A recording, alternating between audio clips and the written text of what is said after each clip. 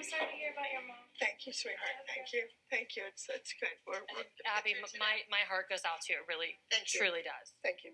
I'm not in the right frame of mind. My mother just died. I better No, go. give her no hug. I don't, I don't want to. I know. The show must I know, go on. I know. You know. Every time somebody says, "You have my sympathy," you have my condolences.